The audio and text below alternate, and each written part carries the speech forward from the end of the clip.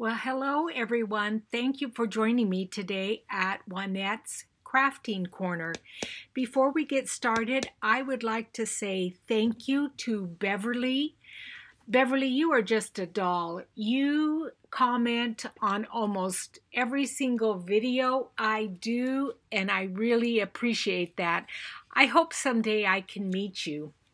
Well, today I'm going to show you how I made these beautiful ornaments. I made them for my grandchildren, and at the beginning of the video, you saw where I showed that plastic ornament, and I turned it into these beautiful ornaments. Uh, the plastic ornaments came from Michaels, and I had watched a video of a gal making these, and I knew immediately this is what I wanted to do for my grandchildren. Now, on two of them, are I already have the dangle uh, to hang from the Christmas tree, but I will finish up the other two later on uh, this evening after I finish doing this little voiceover. But before we start on the ornaments, I just kind of want to show you what I've been doing with my tag challenge. So the tags are, I think I've shown you most of them before. So this is tag number 44 and the prompt was cross stitch. So I thought I would just cross stitch the word 44. The lace on it comes from Rachel from Italy. Then, ta, uh, excuse me, tag number uh, 45, the prompt was fireworks. Boy, I can't talk tonight. Tag number 46 was it's a wrap. And I had gotten those wooden um, little dowels from Sacred Mementos, and I just wrapped them in some threads and did a few little French knots. Now this tag was, the prompt was Little Birdie, number 47, and I stamped that cardinal with a Stampin' Up stamp and then I did all that stitching there and just hung a little lace at the bottom. Tag number 48 was learning how to do a shift stitch and that's what all the little ornaments hanging from the tree are and the little star at the top. And then my last tag, number 49 here, the prompt was memories. And my best memories are from the women in my family. Now, that is a picture of my grandmother who I just absolutely loved dearly spent a lot of summers with her. That was my mother up toward the top, then a picture of me, then a picture of my daughter, and then my granddaughter there at the bottom. And so those are definitely some of my all-time favorite memories is with those women. So I only have a few more tags to do and then it will be on to something else. I apologize for the glare. So I did show you the ornament at the beginning. They're just a plastic ornament that I got at Michael's. They were half off. I think they were $9.99 for four of them, and so I got them $5 for four of them. So fairly inexpensive. So what I started out with was taking some acrylic gesso and then just putting a couple of coats over that plastic. And I took that little oh, circular thing to hold the ornament so I wouldn't have to touch the paint. And I did, like I said, put two coats on. Uh, put on a coat, then let it dry, and then put on another coat. And that was just to give me a little bit of a base to decoupage my images on.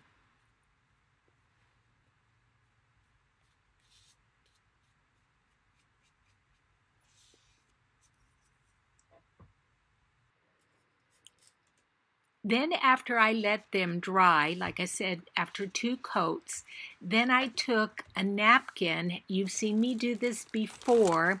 These napkins, oh, I may have got them at Tuesday morning. Oh, or maybe in Washington. But anyway, they're made in Germany. They're absolutely beautiful and I'm going to do my little trick that you've seen me do before where you take your layers off using scotch tape. So that's the first layer. This is a three ply napkin so there will be another ply to take off.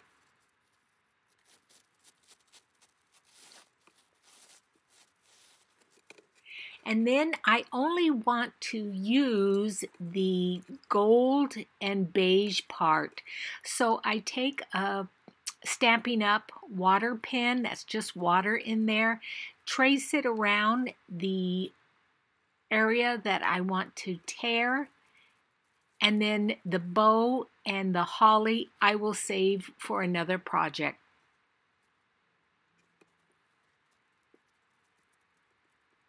I hope everyone is doing well and getting ready for Christmas. Uh, I still have lots to do, but of course, I wait till the last minute to do it, it seems like. Oh, crazy.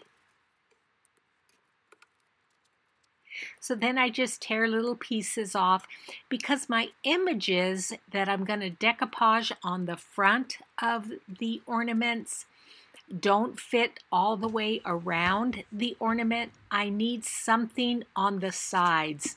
So I'm just taking full strength Mod Podge.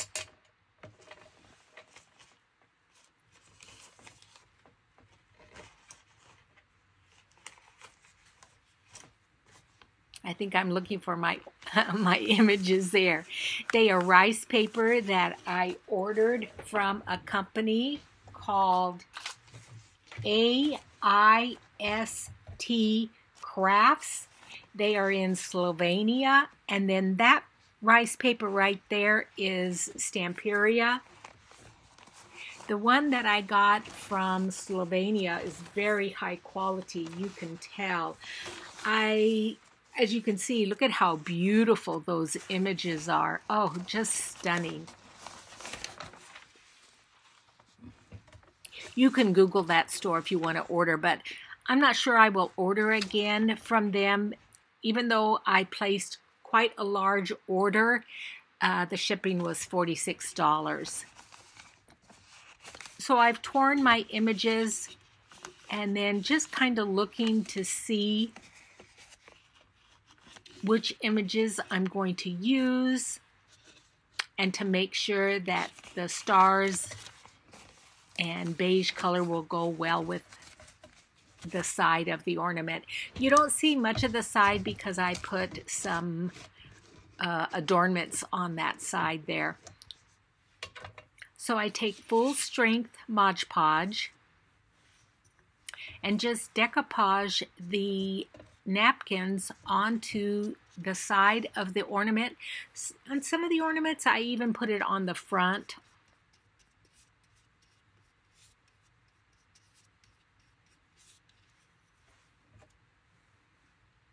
So you just lay down some decoupage, put your napkin piece over the top, and then more decoupage, I meant uh, Mod Podge, over the top of it. And then just let it dry.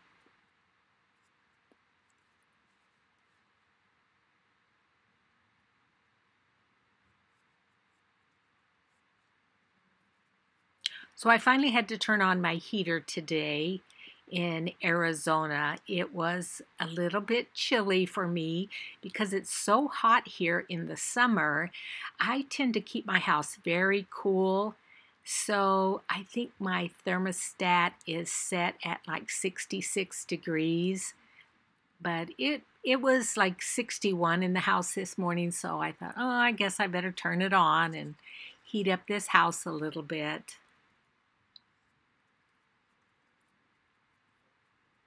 But by the time I made dinner, it was 73 in the house just on its own. So there, the uh, ornament has dried. Now you want to make sure that when you decoupage the rice paper onto it that it's going to be in the correct orientation, not upside down like you see there, because it will be hanging from the tree and you don't want that image is upside down. So just be aware of that. And because it is rounded corners, it is best to tear your rice paper just ever so slightly and then it will fit around the ornament a little bit better.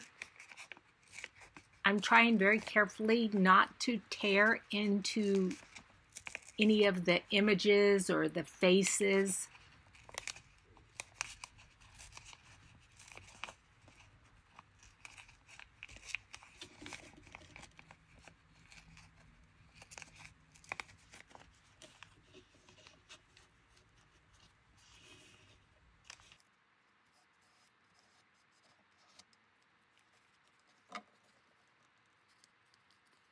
Looks like I had to tear just a couple of more spots so that it would wrap around nicely.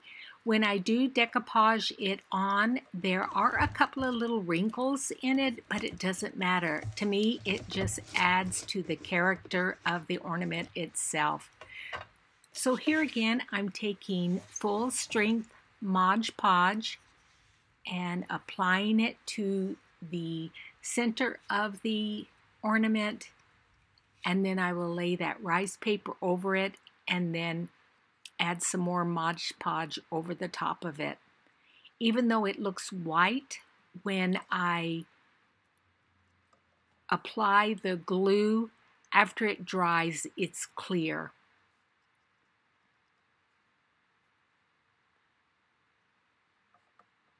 I'm excited because in a couple of days I get to go see my daughter.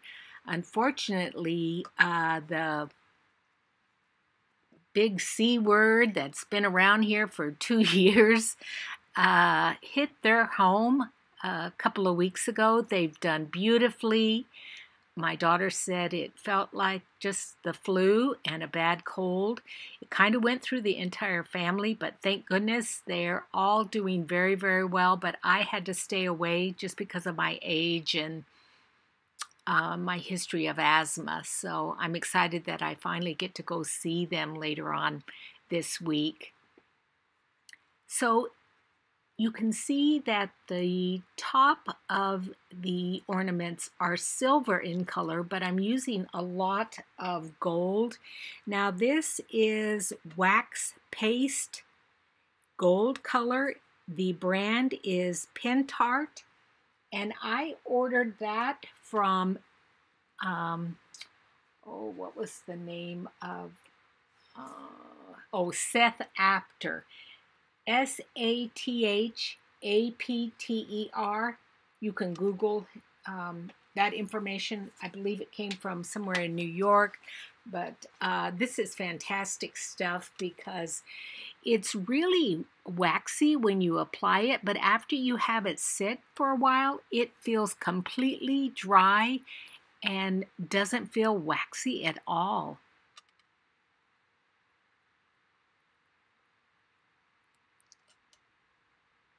So I cover, covered all of the tops of the ornaments. It leaves you with gold fingers. Remember that movie? It was a James Bond movie.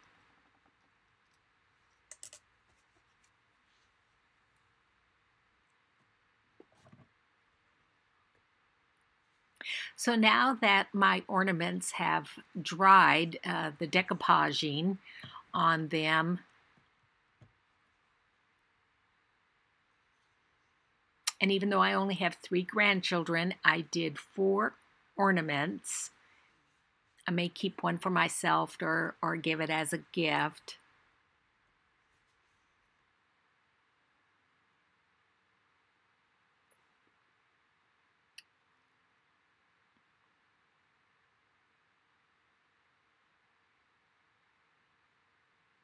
And so now I want to add some, um, what's it called? Some molding around the edge. These are called Redesign Decor molds. I got them from scrapbook.com. This first one has lots of little scrolls. They're very high quality, you can tell.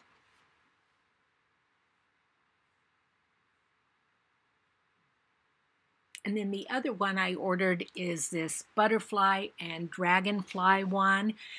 Uh, one of my next journals I want to make is a butterfly journal and I ordered it for that. But then when I saw those stars, I thought, oh, that's absolutely perfect for these ornaments. Now, I had purchased at Michael some clay, air dry clay, and the brand is called, I think, Craft Smart. I'm going to show it to you here in just a second.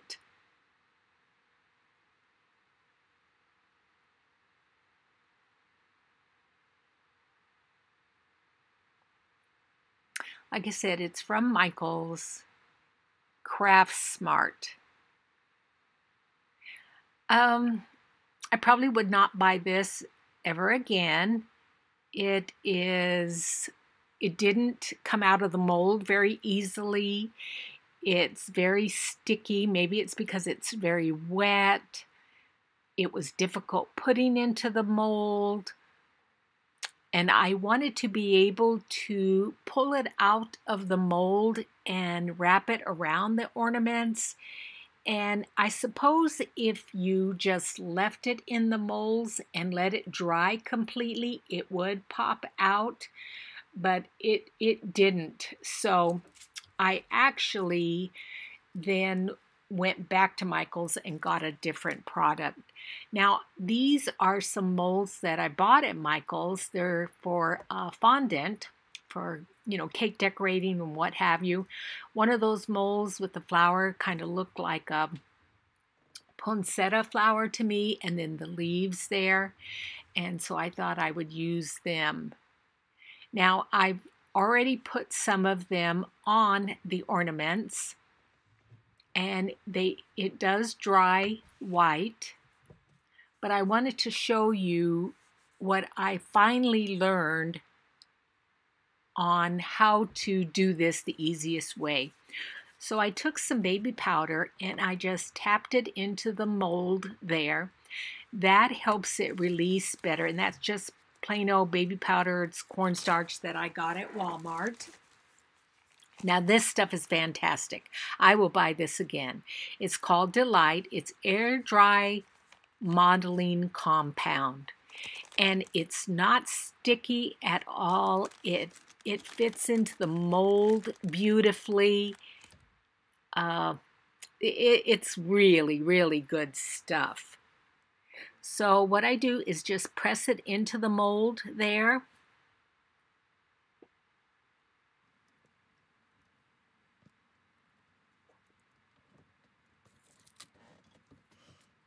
And then I took a palette knife and then just scraped off the top and then put it in that other star there.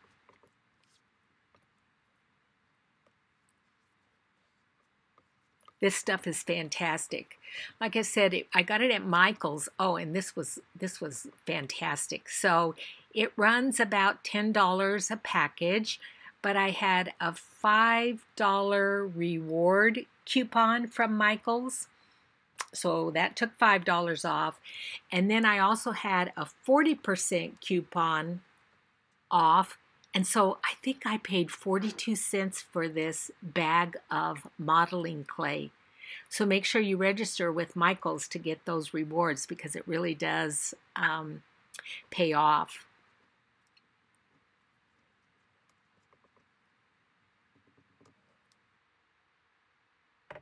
So I did not let this dry at all. Now make sure to keep it soft, you wrap it up and I put it in a little plastic baggie, folded it over, and then I also put it in an airtight container. just I'm pushing the insides in just a little bit just to give some good definition to those stars.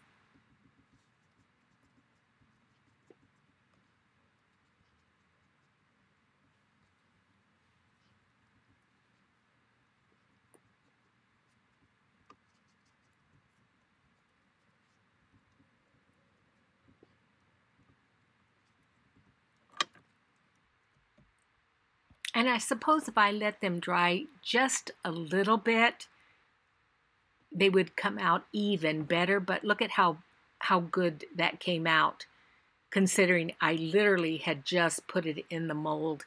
And I can just shape the point to that star. And there's going to be so much paint and glitter and flakes on that star that you're not going to even be able to tell that it's misshaped a little bit. But that stuff is fantastic. It's called Delight. And it is delightful. Oh, that clay, I was like ready to throw it up against the wall. It was, well, what I put in the mold after a while, I just threw it out. It was it was driving me crazy. But do you see how I'm actually able to bend those over? And so they will be able to form around the the ornament. Now this is some uh, super heavy gel that I also uh, I got this at Hobby Lobby. It's a real thick kind of a glue and it's for more heavy duty projects. And I just paint a little bit on the back of that star and apply it to the ornament. And then left it, you know, to be to dry.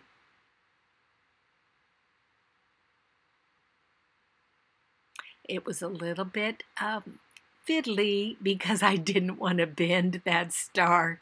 And I keep kind of like dropping it almost. And I think I went, oop, there. See how I just kind of glue it up even over the top of that ornament there.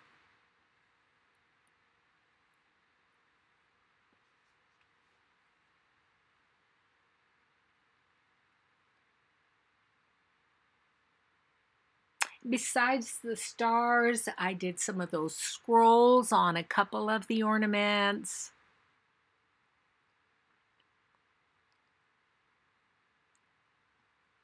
I did some leaves, uh, the poinsettia flower, and I still probably have three-fourths of that delight bag left over. That was from the um, the mold that I got at Michael's, the little fondant mold. If you don't know, I believe that says Merry Christmas in Italian. Now this I purchased from Seth Apter. It is a flaky texture paste. Uh, they also had a sand paste that I bought, and then I have just your regular texture paste, but I liked this flaky one. To me, it kind of felt like it would be like snow.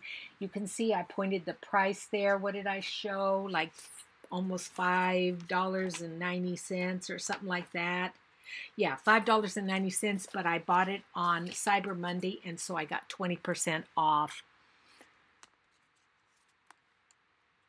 And it just squeezes out of that bag and then that um, lid just screws back on so it will stay nice and moist. It won't dry out. And so I'm just applying it on all of the ornaments. I'm going to put a little bit of music on, put it on high speed, and finish up these ornaments with this texture uh, flaky paste.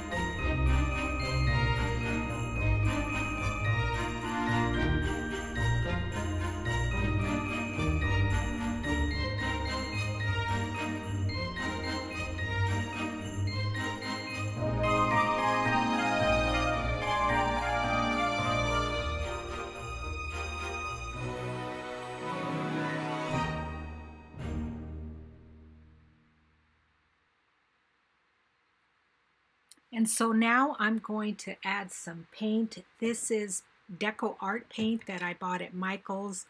There is a champagne gold and a glorious gold color. And I used both colors on each ornament. This one I haven't I hadn't even opened before.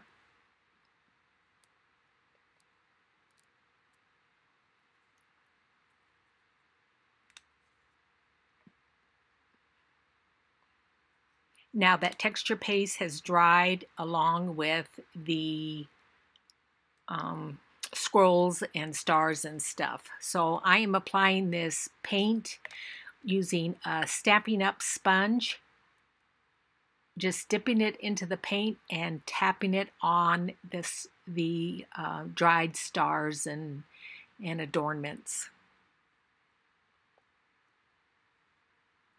And I go back and forth between both colors just to vary it a little bit. It really makes it look very rich.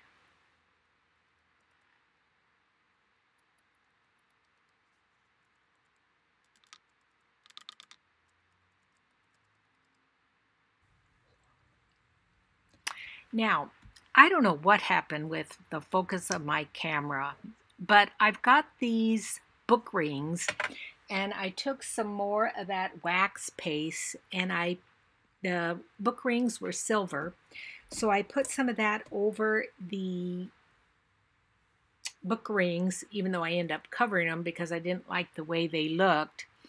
Um, but then I took some red and gold ribbon. I first staple the uh, one end to the other end there just using uh, Tim Holtz's little stapler just to hold it in place. And again, I apologize that my camera's out of focus. I I don't know. I don't know what happened. But I just start wrapping that ribbon around that ring, adding a little bit of art glitter glue to the underside and then wrapping it through again just so that ring doesn't look so industrial. I just I didn't like that that hinge part. I thought it looked tacky.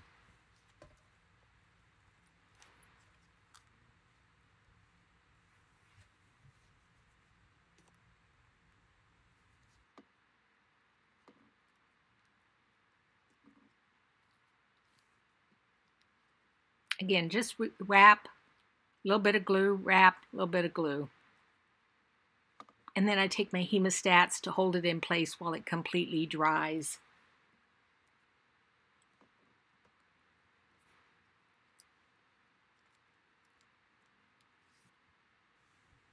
Now this is Deco Art. Again, I got this at Hobby Lobby. It's called Triple Thick Brilliant Brush On Gloss glaze. And again, my camera was out of focus, but I just used a paintbrush and painted some over the front and back of each ornament just to give it that glossy glass-like finish. And then I just set those aside to dry. I put them on top of those big uh, movie theater cups so that they uh, they wouldn't uh, fall over. Now that is called uh, again I got it at Hobby Lobby. It is a matte varnish and I take a little bit and brush it on the sides of the ornaments and then just add a little bit of glitter that I have Can't have too much glitter, can you? This first one I used a little bit of uh, iridescent glitter, and then I didn't really like that, so I added a little bit of gold glitter over it, and then the other ornaments I did use gold glitter. So I'm just setting these aside to dry. I'm, um, I think they came out fantastic. I think my grandchildren are going to really enjoy them. I I look forward to a day when I know I will be long gone and they will look back and say, "Oh, my grandma made that for me when I was, you know, 10 years old or 12 years old." That's what this is all about. So thanks for joining me, everyone, and I will see you next Monday. Bye.